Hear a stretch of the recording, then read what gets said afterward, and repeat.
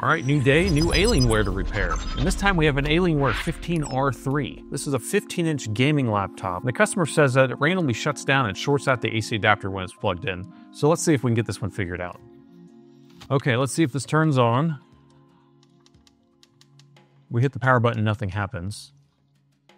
Let's go ahead and connect the power.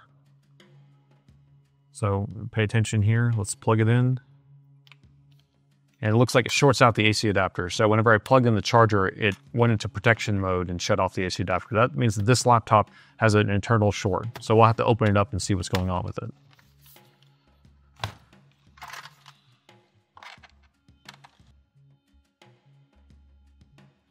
And it's open. All right. This laptop looks pretty dusty. Take a look at these fans. I bet this laptop overheated. Hopefully it's not the GPU or CPU that's shorted out. We'll see if we can get it figured out. Um, but unfortunately, we can't access this motherboard without taking the entire chassis apart here. So I'll have to continue taking this apart. All right. We'll unplug the battery. This is the keyboard. Okay. And we got the bottom off. Now we can access the inside and we can take a look around real quick. Wow, get a load of the dust in here.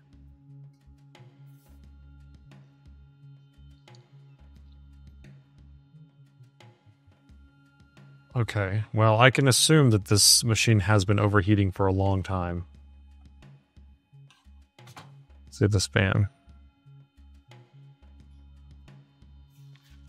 Well, let's go ahead and take some measurements to start out. So I have the battery unplugged and we're going to go ahead and put the voltmeter in continuity mode. Let's get the microscope out. We're going to start by measuring the input jack, which is right here. We're going to measure from ground to plus, ground to plus here on the DC jack, and there's no short there. We'll check the first MOSFET, second MOSFET. So the current sense resistor, those are dead short on the current sense resistor here. So that means the main power rail has a short on it. And on this machine, the most co common cause of this would be on the CPU or GPU.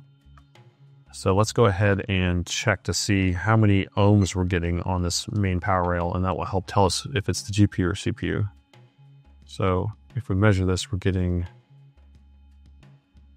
we're getting one ohm. So one ohm is most likely going to be the GPU, but we'll go ahead. We're going to have to pull the heatsink off and then we can measure the coils on the GPU and compare. That's right. So we're going to have to actually pull this board out because you can't take the heatsink off without pulling the entire motherboard out because the fans plug in underneath the motherboard. The best design ever. All right, and the motherboard is out. Pull the heatsink off so we can take a look at the GPU and CPU.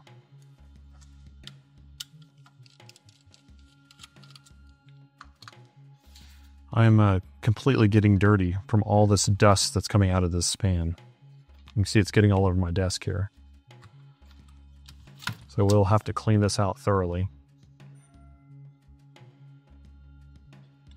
Maybe we'll send it over to the greatest technician. He can clean it up for me. Okay, so here's the, the bare board. So as you remember, the main power rail had, we were measuring one ohm. So I, I just have it in ohms mode right now. So we're just measuring how many ohms it is. We're getting 1.2 ohms. Okay, so what we need to figure out is I'm just going to check to see if it's shorted to the CPU or GPU right off the bat. And the way we can check that is the coils here on the CPU and GPU. Here's the coils on the on the GPU, and here's the coils on the CPU. If we measure those, and it, we have a, a short through one of these DR MOSFETs straight to the main power rail, then we'll have the same uh, the same ohms measurement. So we'll start. The CPU will have higher ohms, so we'll start with this one. It's probably not going to be the CPU. Let's see. We'll just check any of these. Oops. We'll check any of these. Oh, we got one ohm. Okay. We got 1.1 ohm. We're going to check the GPU now. And the GPU is.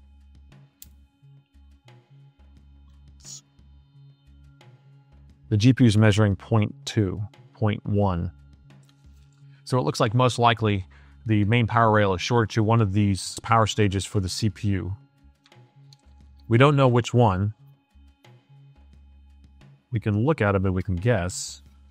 Let's take a look at this one. We can look for one that's discolored. But I can't really tell. And at this point, we're we're just we're just guessing that the power rail is shorted to the CPU because it has the same ohms measurement. But we can go ahead and do voltage injection and see if the CPU starts getting hot. We're going to start with a very low voltage, and then we're going to figure out which power stage is actually shorted out. Now, if it is shorted to the CPU, 99% of the time, this motherboard is toast. Okay. I've been able to fix quite a few of the GPUs whenever they're shorted to the GPU I just change out that MOSFET and it's pretty good at protecting itself. But on the CPU, all the voltage goes straight there to try to turn the board on at the starting, and that's why it shorts out. So most likely this board will need to be replaced at that point.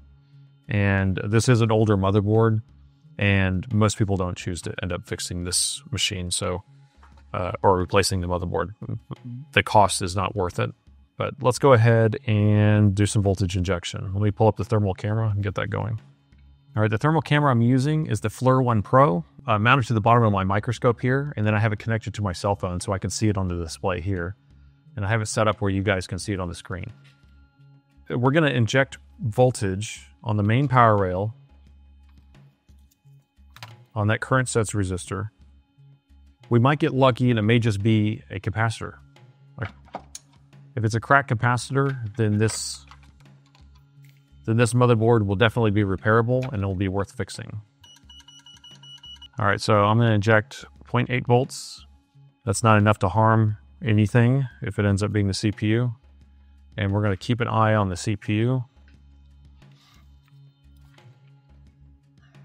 There's the CPU and GPU. So we want to pay attention to those. So right now it looks like it's warm, but it's just a reflection. All right, it's the CPU getting hot. Did you see that? So with the CPU getting hot, it's going to be one of these power stages. We don't know which one it is. If my thermal camera, sometimes I'll be able to see which one is heating up.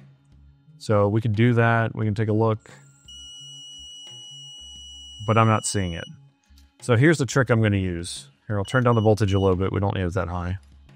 All right, so here's the trick I'm going to use. I take one of these wires. I'm going to hook it to ground on the motherboard.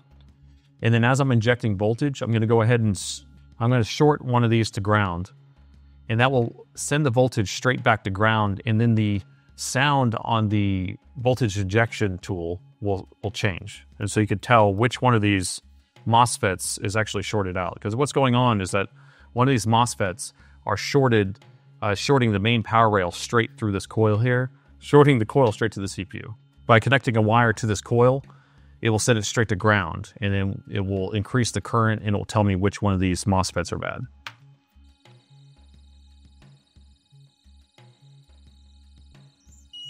And there it is.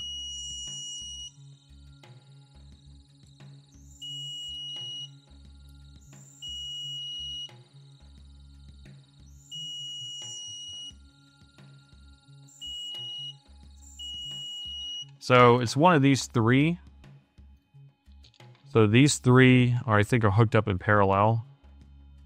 Let's take a look here. They are.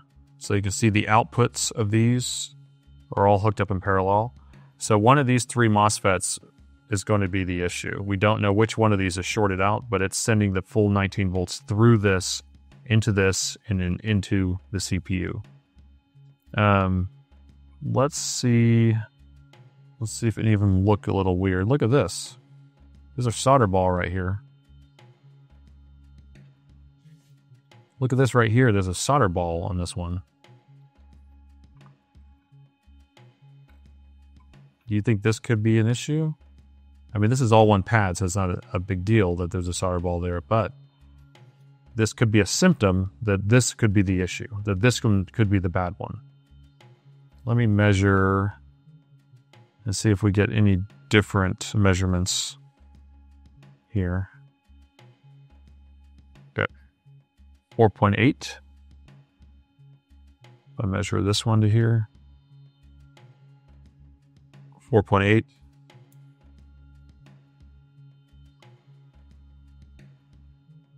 Four point eight. So it's not really telling me. So again, we don't know which one it is, but it's going to be one of these three. I usually go for the one that's in the middle because that's the one that's going to get the hottest because they're all getting hot, but they can't dissipate heat fast enough. And because this one has a solder ball right here, it could mean that this one got so hot that it pushed some solder out the side here. So let's go ahead and remove this one and check and see if the short's gone or not. All right, a little bit of flux. We're going to use, we're going to do full heat we want to get in there and get out of there as fast as possible. This board is very thick and it will take a long time to heat up. All right, it should be getting close. Gonna kind of wiggle it a little bit. Okay, it's about to come. Okay, and the chip is out. Let's go ahead and clean it up real quick. So while the board's hot, I want to go ahead and add some fresh solder, clean up the area a little bit.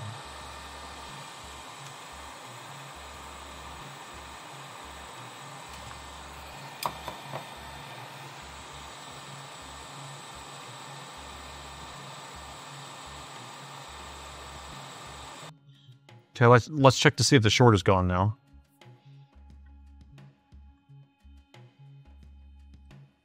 And the short is gone. So we chose correctly.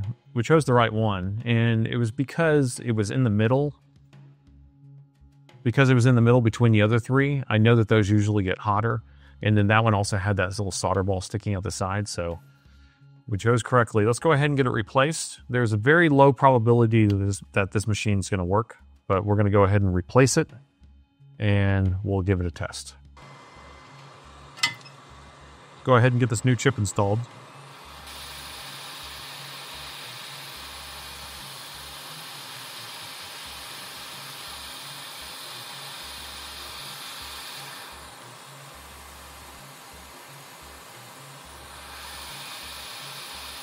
All right, the chip is installed. Let's go ahead and clean up the area.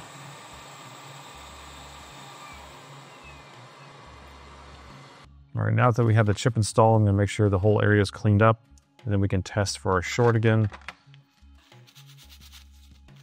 Okay, we have it in continuity mode again. Let's take a look at that current sense resistor. And the short is gone. All right, so this motherboard should now turn on. But will it work? That's the question. The CPU is probably the CPU probably took a full 20 volt jolt and burned it out, but we're going to go ahead and put it back together and see if we can get this thing to post. I think there's probably a 1% chance that this motherboard survived.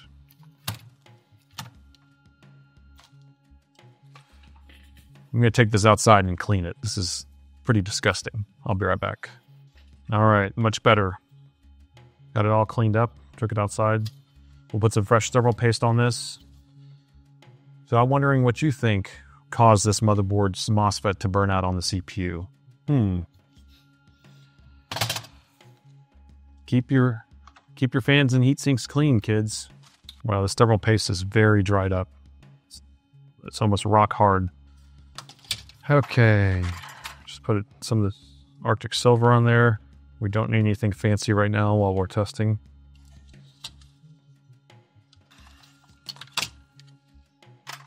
All right, the heat sink is installed. Let's install the motherboard back into the laptop so we can do a test. All right, the motherboard is installed. Let's give it a test. Let me reset my charger. Okay, I get the charger reset. And let's plug in the laptop. All right, we're not getting it. It's not shorting out the AC adapter now. Let's see if we can turn it on.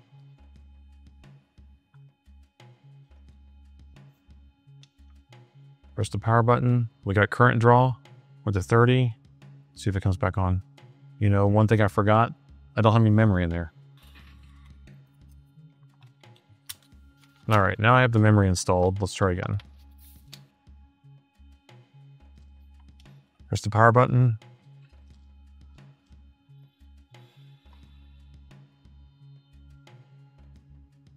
Point four nine, and went back down, and it should come back up.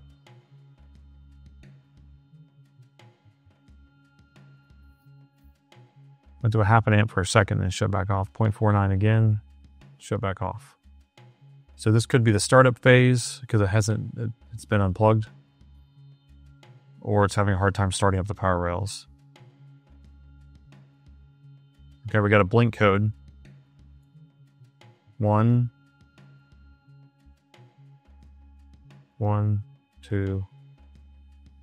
So that's a 2 1. And let's look up what a 2 1 is.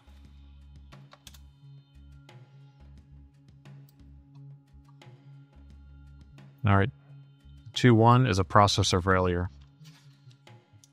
So it's exactly what I was thinking. So unfortunately, when that MOSFET failed on one of the power stages for the CPU, it sent the full 20 volts straight to the CPU and burned it out. Um, the because the MOSFET was shorted, it kept putting the AC adapter in protection mode because it kept seeing a, a lot of current draw. And so even replacing that MOSFET didn't fix anything. So the short is gone now, but the CPU has failed and taken all that voltage. So, and I guess the question would be, why did this happen? Well, you can obviously see that the fans were completely kicked and that it was overheating. And those MOSFETs get really hot because it's sending a lot of current to the CPU.